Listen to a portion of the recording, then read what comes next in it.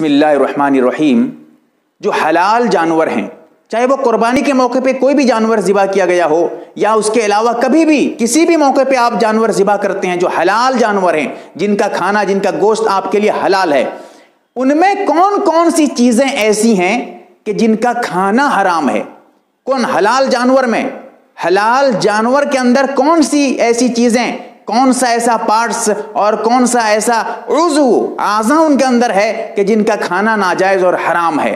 سب سے پہلے یہ سمجھیں، جیسا کہ میں نے کچھ لسٹ بنائی ہے میرے پاس کچھ فقی کتابوں کو اور حدیث کو سامنے رکھتے ہوئے جیسا کہ اگر آپ اس کے متعلق جاننا چاہیں، دیکھنا چاہیں، تو السنن القبرہ میں حدیث نمبر انیس ہزار سات سو، اعلیٰ السنن میں جلد نمبر سترہ، صفحہ نمبر ایک سو تیس کھول کر دیکھیے گا کہ حدیث موجود ہے اللہ کے رسول صلی اللہ علیہ وسلم سات چیزوں کو ناپسند کیا کرتے تھے۔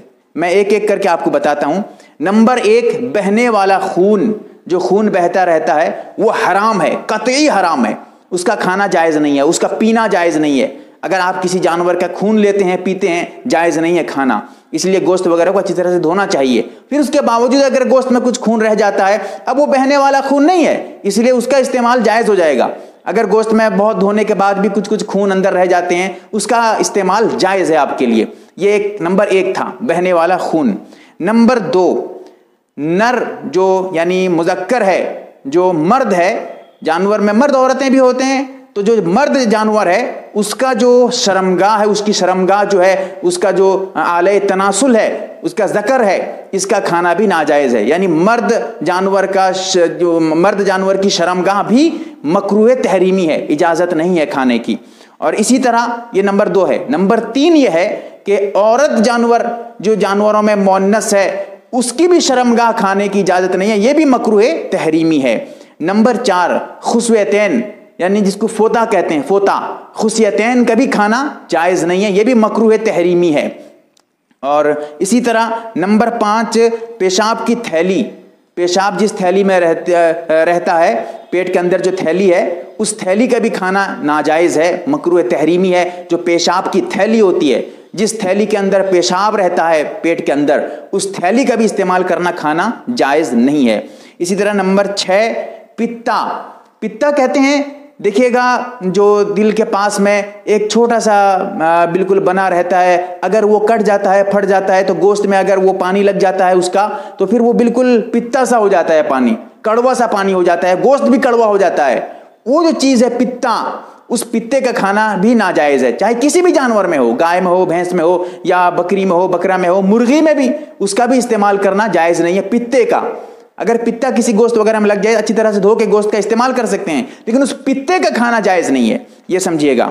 اور اسی طرح نمبر سات، غدود۔ یہ کہتے ہیں، غدود کہتے ہیں خون جو ہے جم کر ایک گٹھلی کی شکل بن جاتی ہے۔ یہ خون جم جم کر جو ہے ایک مطلب خون دیکھے ہوں گے، کہیں چوٹ وغیرہ لگ جائے تو بس خون جم جاتا ہے۔ خون جمنے کے بعد ایک عجیب سا شکل اس کی بن جاتی ہے۔ وہ اس کو کہتے ہیں غدود۔ اس کا بھی کھانا جائز نہیں ہے، یہ بھی مکرو ہے، تحریمی ہے۔ ان چیزوں کا کھانا ناجائز ہے۔ ان کے علاوہ اور بھی بہت ساری چیزیں ہیں، سب کھانا جائز ہیں۔ صرف انہی سات چیزوں کا کھانا منع ہے۔ اس کے علاوہ ایک اور تذکرہ آتا ہے، حرام مغز کا۔ حرام مغز کا کھانا اس میں فقہ اکرام کا اختلاف ہے، لیکن صحیح بات یہ ہے کہ یہ مقروح تنظیحی کے درجے میں رکھا جا سکتا ہے، ورنہ اس کو کراہت بھی وہی طبعی کراہت کہا جا سکتا ہے، شرعی اعتبار سے اس میں کراہت نہیں ہے۔ حرام مغز کا کھانا بھی جائز ہے، لیکن بہتر ہے نہ کھائیں اختلاف سے بچنے کے لیے۔ بہرکیف اللہ تعالی ہمیں صحیح مسئلہ سمجھنے کی توفیق عطا فرمائے۔ آمین یا رب العالمین۔ یم اے آر بی دینی معلومات چینل کو سبسکرائب کریں اور گھنٹی والے نشان کو ضرور دبائیں تاکہ ہماری ہر نئی ویڈیو آپ تک پہنچتی رہے۔ ویڈیو کو لائک اور شیئر ضرور کریں اور ہماری ہر ویڈیو آپ اپنے چینل میں ڈال سکتے ہیں۔ نیز ہمارے ساتھ واٹس ایپ پر جڑنے کے لیے آپ اپنا نام اور مکمل ایڈریس کے ساتھ ایڈ لکھ کر میرے WhatsApp number eight nine zero eight nine three nine three four three کو میسج کریں۔